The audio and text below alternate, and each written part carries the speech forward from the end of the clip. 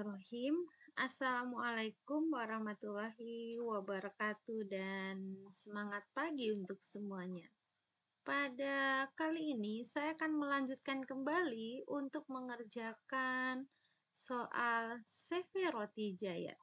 Di mana pada video kali ini kita akan membahas terkait dokumen transaksi nomor 7 yang ada pada soal CV Roti Jaya yaitu soal UKK Akuntansi dan Keuangan Lembaga paket 4 di mana ini merupakan nota kredit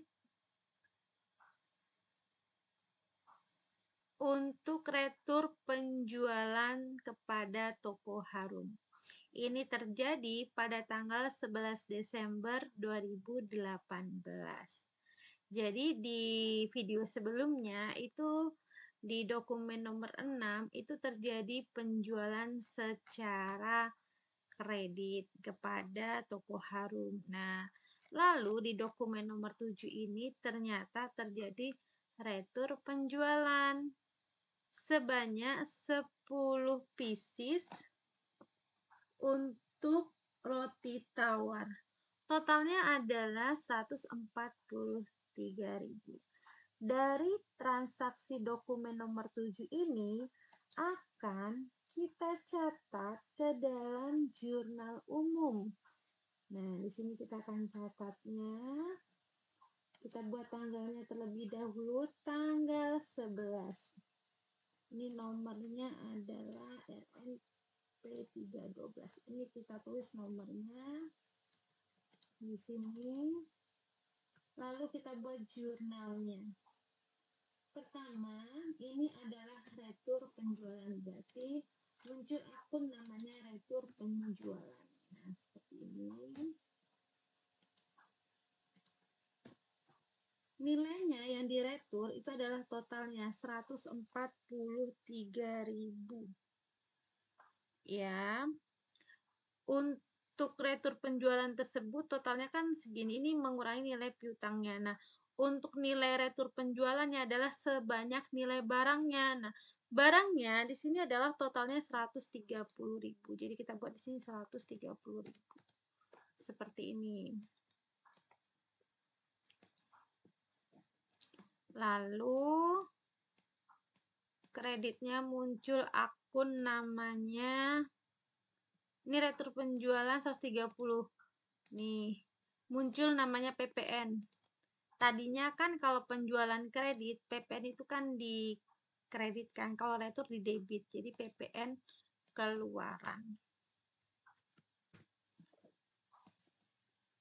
Nah, seperti ini. Nilainya adalah 13.000 baru karena ini retur berarti mengurangi namanya nilai piutang dari customernya yaitu piutang dagangnya berkurang sebanyak ini 143.000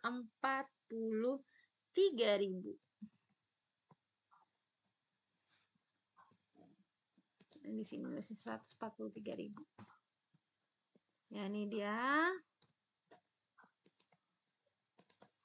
karena ini adalah penjualan ya berkaitan dengan penjualan. Jadi ada namanya kalau penjualan kredit itu muncul mau kredit mau tunai akan muncul namanya COGS atau harga pokok penjualan dan mengurangi nilai persediaan barang jadi. Nah, kalau di retur berarti ini juga akan muncul akun ini. Berarti harga pokok penjualan debit karena di retur dikreditkan dan persediaan barang jadi di kredit didebitkan seperti itu. Oke, kita buat akunnya. Jadi ini masih di jurnal yang sama.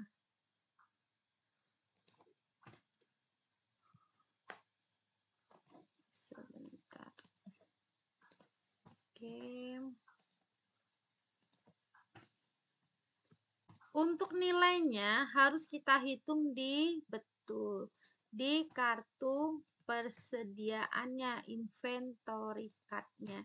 Jadi debitnya adalah harga pokok penjualan, kreditnya adalah persediaan produk jadi. Nilainya kita hitung ya 10. Kita lihat inventory cardnya di sini. Jadi nilainya bukan 130.000 ya, tapi harus kita hitung di sini. Kita buat tanggal 11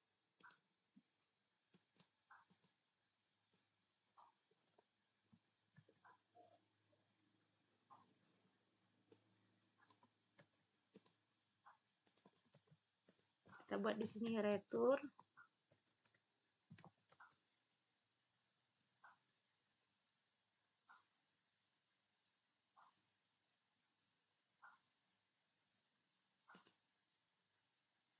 sebentar ini kan retur berarti persediaannya yang di debit ya dulu kalau penjualan kan dia HPP-nya di debit berarti kalau retur di uh, debit dikreditkan. Jadi persediaan karena retur kan berarti barangnya bertambah. Retur penjualan ya.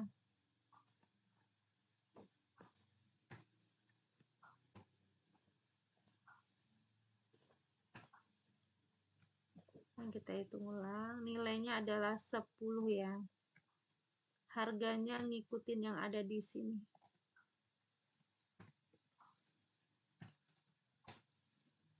Oke, berarti saldo ditambah dengan ini.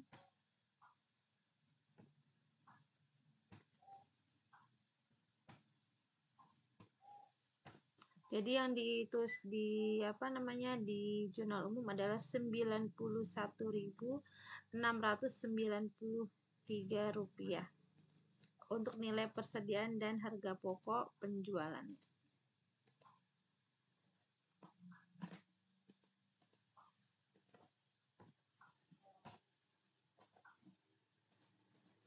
Oke, ini adalah jurnal yang kita catat untuk terkait dokumen transaksi nomor 7 yaitu retur penjualan. Debitnya adalah retur penjualan dan PPN keluaran, kreditnya adalah piutang dagang. Angka ini semua didapat dari nota kredit ini. Lalu setelah itu menghitung persediaan produk jadi dan harga pokok penjualan. Ini dilihat dari kartu persediaan yaitu persediaan roti tawar. Demikian video kita kali ini untuk menginput retur penjualan. Terima kasih atas perhatiannya. Sampai ketemu di video berikutnya. Wassalamualaikum warahmatullahi wabarakatuh. Dan semangat pagi.